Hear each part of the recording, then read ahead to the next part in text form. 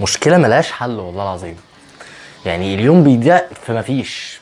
ده هوب تصحى من النوم تاكل لقمة تمسك التليفون تنام تاني تصحى تاني يوم تاكل تشرب تقعد تنام واليوم بيروح. السلام عليكم ورحمة الله وبركاته. أنا محمد عبد العزيز والنهاردة هنتكلم عن الإنتاجية.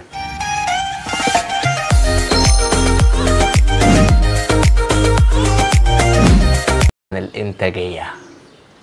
الإنتاجية الإنتاج تقعد في البيت تاخد كورسات online learn how to learn presentation skills Coursera Lynda Udemy كلها حاجات ويلا وتعلم وخش ودوس. ده وقتك. انت دلوقتي قاعد في البيت.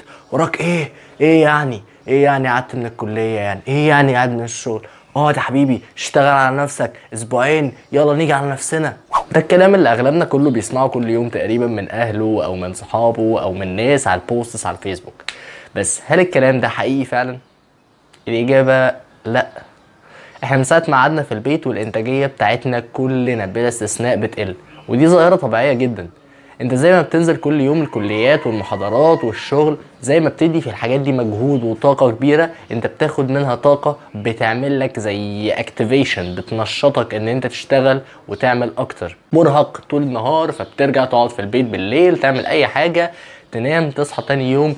اليوم العادي ده كان نعمة. دلوقتي بقينا في أمر واقع وبقينا قاعدين في البيت خلاص غصب عننا.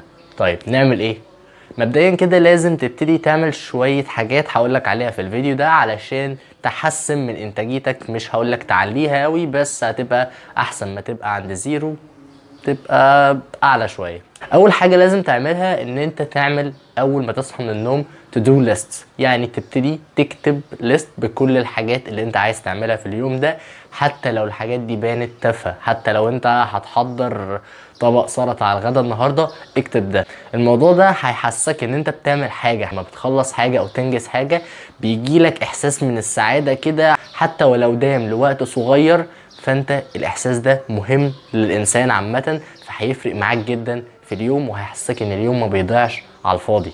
تاني حاجة تقدر تعملها برضو اليومين دول إنك تبتدي تبني عادة جديدة. لو أنت شخص نفسك تبتدي تعمل videos مثلا ابتدي صور من دلوقتي. لو وراك حاجة أنت مش بتنتج فيها بالشكل الكبير فلما هتعمل حاجة جديدة عليك أو حاجة أنت حاببها فده هيساعدك إنك تنجز في الحاجات اللي هي عليك already ده ممكن لو أنت مش بتلعب رياضة تبتدي تلتزم وتعمل لنفسك نظام رياضي كده كل يوم تمرين معين تنزل تجري. مش بشجع على النزول تماما بس أنت ممكن تنزل حتى تجري في الشارع بتاعك مش لازم تروح مكان عام مش لازم تروح تجري على البحر أو تجري على النيل مش لازم خالص. ودي حاجة من الحاجات اللي أنا جربتها شخصيا بصراحة يعني أنا جربت فكرة الجري أنا بقالي حوالي آه خمس أو ست أيام بجري كل يوم ما فوتش غير يوم واحد بس في النص. الجري ده بصراحة حاجة فادتني جدا باجي منه مبسوط حاسس إن أنا عملت حاجة في اليوم خاصة إن أنا شخص مش واخد على القعدة في البيت. ده هيحسن جدا من المزاج بتاعك وإن أنت هتبتدي تنتج أكتر في الحاجات اللي متراكمة عليك سواء شغل سواء محاضرات أو ايا كان.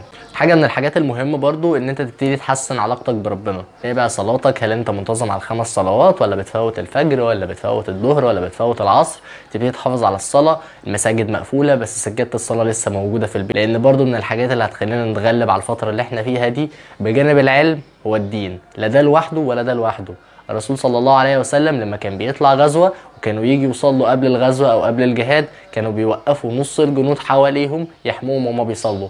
طب ليه ما ده الرسول وده زمن معجزات وممكن ربنا قادر إن هو يحميهم وهيبقوا شهداء و و إلى آخره؟ بس كان لازم ياخد بأسباب الدنيا كان دروس بيعلمها لنا. نيجي بعد آلاف السنين نقول الدين بتاعنا بيامرنا إن إحنا ناخد بأسباب الدنيا وأسباب الوقاية إلى جانب الأسباب الدينية والإيمان بالله لأن مفيش أي حاجة هتتم بالعلم إلا بمشيئة ربنا.